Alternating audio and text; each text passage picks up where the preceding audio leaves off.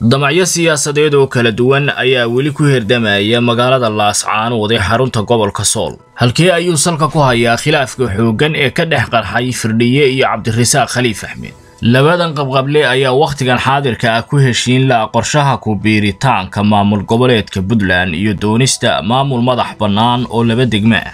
Maxaa ka suurta galay ballanqaadkii cabdirasaaq khaliif axmed uu ku lumiyey guddoomiyaha golaha wakiilada ee somalilan iyo noqoshadii madaxweyne ku-xigeenka maamul goboleedka puntland oo wakhtigan xaadirka ah siyaasadeedu ay cakiran tahay.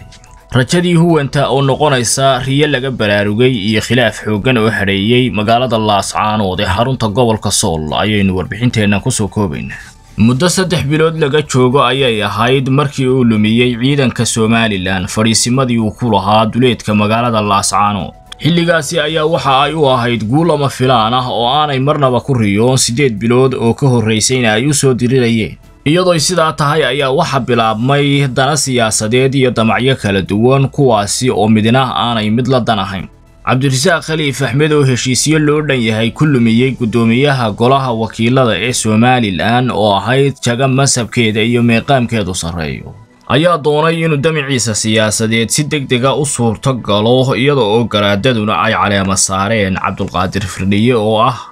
wakhtigan xaadirka ah guddoomiyaha labadan degmo iyo hogaamiyaha jabhadda magaalada laascaanood ee xarunta gobolka sool. Miisaankii iyo galaangalkii siyaasadeedna waxa yeeshay ninka ceelka guntiisa ku jira oo ah mustar firdhiye cabdirasaaq khaliif axmed oo sidii uu somalilan debedmeerka uga ahaa u ah debed wareeg ayaa wakhtigan xaadirka ah doonistiisu ay tahay. Damciisii siyaasadeed iyo ballanqaadyadii uu la soo galay siciid cabdulaahi deni iyo beddelka madaxweyne ku-xigeenka maamul goboleedka puntland inay suurto galaan hase yeeshee arrintaasi oo ah mid aan la isku raacsanayn oo doonista laba degmo oo maamul goboleed noqda si toosa u hoostaga dowladda federaalka ay ka awood badan tahay ayaa khilaafka labadan qabqable uu salka ku hayaa iyada oo wakhtigan xaadirka ah uu marayo meeshii ugu xumay. Garaadada ayaana arrintaasi si rasmiya uga gaabsaday maadaama oo aanay isku raacsanayn doorashada mustar firdhiye. Iyo doonista cabdirasaaq khaliif axmed oo ah labadan degmo inay hoos tagaan maamul goboleedka puntland oo uu isagu ku qayb qaato. Damciisa siyaasadeed iyo ballanqaadyadii loo sameeyeyna ay sidaasi ku fulaan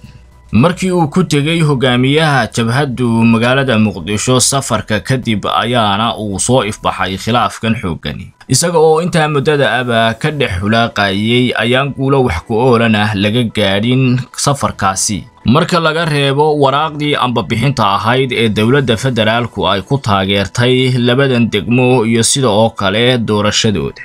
maamul goboleedka puntland soomaaliya oo xaaladiisa siyaasadeed aanay degganayn wakhtigan xaadirka ana la ysu guranayo saanad milatari ayaa cabdirasaaq khaliif axmedna uu quudaraynayaa inuu ka noqdo madaxweyne ku-xigeen iyada oo lagu beddelayo axmed karaash oo iminka ah. Hase yeeshee rajada khaliif ayaa ah mid aad u hoosaysa marka loo eego. Mustar firdhiye oo wakhtigan xaadirka ah ku sugan jagada u sarraysa huwanta magaalada laascaanood iyo labadan degmo maamulkooda duruufo dhaqaale oo ay wajahayaan huwantu iyo ciidamadii hiil harti oo wakhtigan xaadirka ah ka fanjeediyey. Ayaana ah waxa keliya ee magaalada laascaanood ee xarunta gobolka sool wakhtigan xaadirka ah ay la rafiiq tahay. Waxaana ay u muuqataa rajadii xulufada bariga sool inay ku soo ururtay riyo laga baraarugay. Weliba intaasi waxa dheer damacyo siyaasadeed iyo danah aan ku heshiin karin oo inta aanay somalilan duulaan qaadinba waxaa la arkayaa khilaafyo xooggan oo ay xulufadu ku kala fog tahay kuwaasi oo ay xeeldheerayaashu ku qiimeeyeen.